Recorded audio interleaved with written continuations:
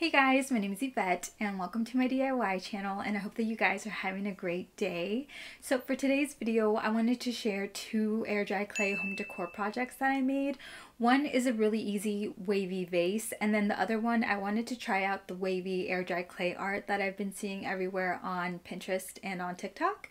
So let's get started.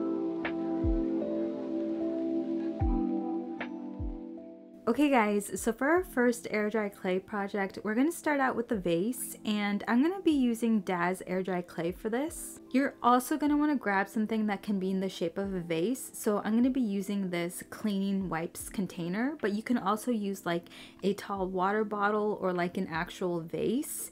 And this is to give us our vase shape. Also, I made sure to wrap this in plastic wrap so that my clay doesn't stick to it when it dries. So the first thing we're going to do is roll out our clay nice and thin, but like not too thin. So if when you pull your clay up it rips, that's too thin.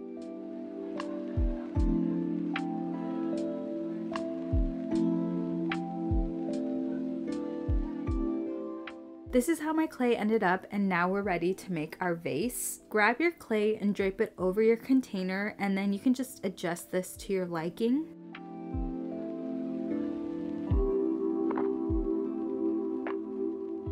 And so now I'm just going to start making little folds in the clay and try to work with your clay so that it doesn't rip. So like if the clay wants to naturally fold a certain way, just go with it.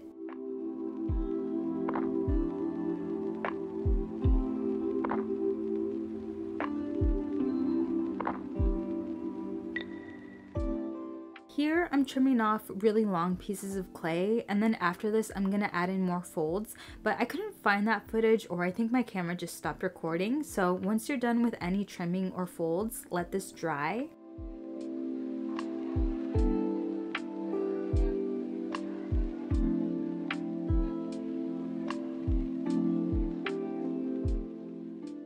This is how my vase turned out and I love it. Although with the DAS clay, it did give me like these little wrinkles, but that's okay because we can just easily sand most of that off.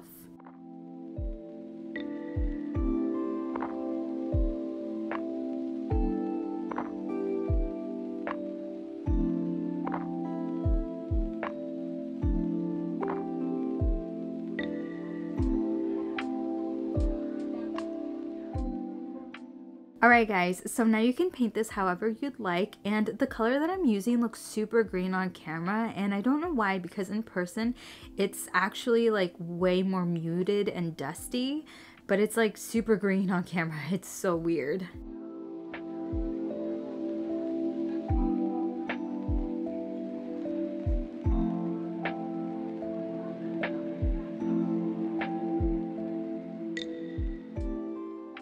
The last thing we gotta do is seal this and I'm gonna be using DecoArt's Triple Thick Gloss Glaze. And I'm gonna be using this vase for dried flowers, but you could totally use actual flowers if you just put like a little cup in there with some water. Just make sure not to get the actual clay wet since this is air dry clay.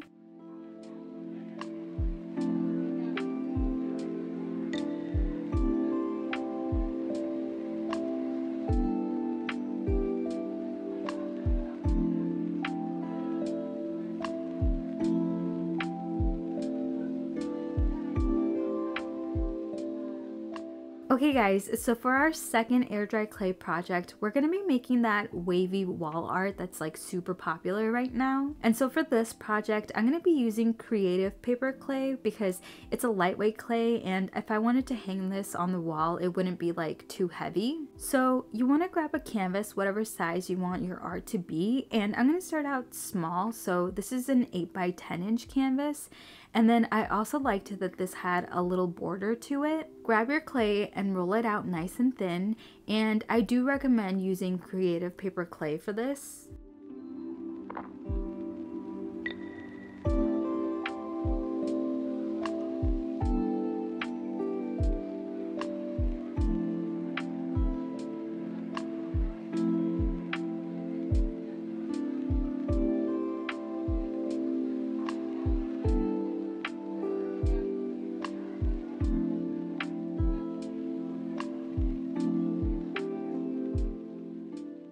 Okay guys, so once your clay is rolled out, place it on top of your canvas and then just start making your little waves on the canvas and there's no right or wrong way to do this, just do whatever you feel looks good.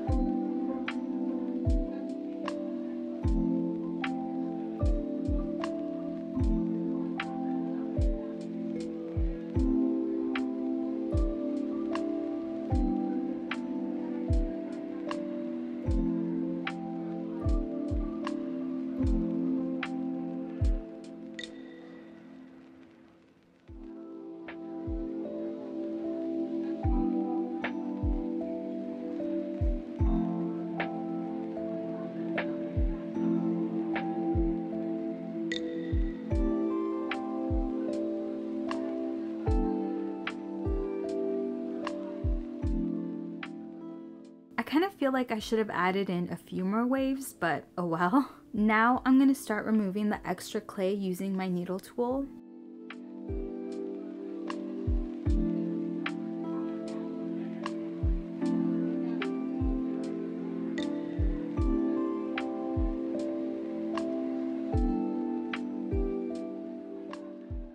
And I did want to keep that border that this canvas has, so I'm going to take the clay off of there too.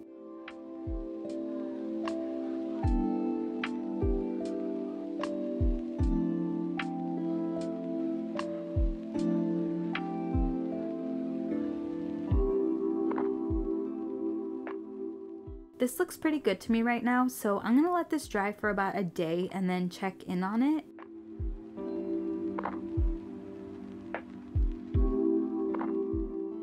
Okay guys, so this is my first check-in on it and it's drying really well. I didn't get any like wrinkles on this one like I did with the DAS clay when I made the folds on that, but I can see that the clay did shrink a tiny bit. It's not touching the border anymore, so I am gonna fix that. I'm gonna add clay to the little edges of my project so that it completely touches the border, and then I'm just gonna let this keep drying for another day.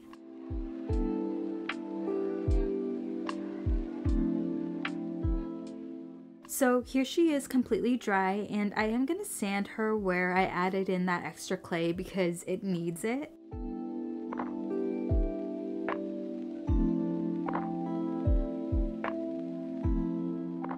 Now I'm going to paint this a taupey brown that I mixed together.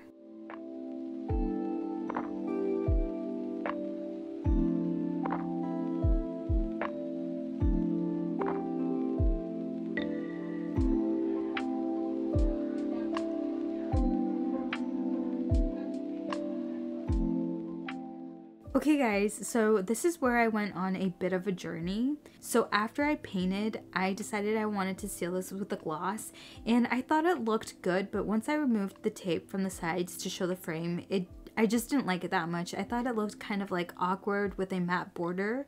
So then I decided to repaint it again and then seal it with a matte varnish. And the matte varnish was still kind of like, like it changed it. It made it look like it still had like a tiny bit of a gloss I don't know. So I still didn't like it. So then I repainted it again. And then I loved it like this without any sealer on it at all. It just looks so much better to me. But if you didn't have a frame on it, I feel like it would look great with both the matte sealer or the gloss sealer.